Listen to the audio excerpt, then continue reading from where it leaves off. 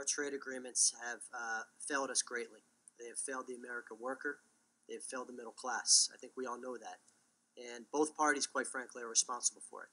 Um, you go back to NAFTA under President Clinton, was a disaster. We now know that. CAFTA under President Bush, mixed results at best. And now we have TPP, the Trans Pacific Partnership that President Obama is advancing, which I am very suspect of. The, the details have not fully been worked out yet.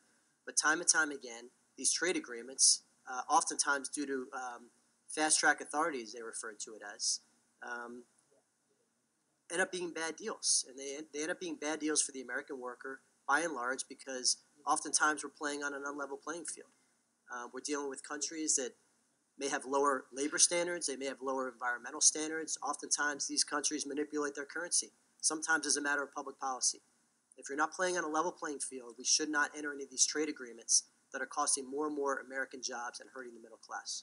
Yeah, uh, just to Andy's point, because Andy correctly pointed out, I want to make clear I'm suspect of TPP. We don't know exactly what's in it yet. It has not fully been vetted.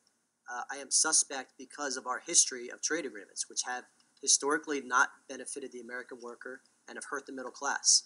So the details are being worked out. I hope they're worked out in a good manner where we can actually get behind it. But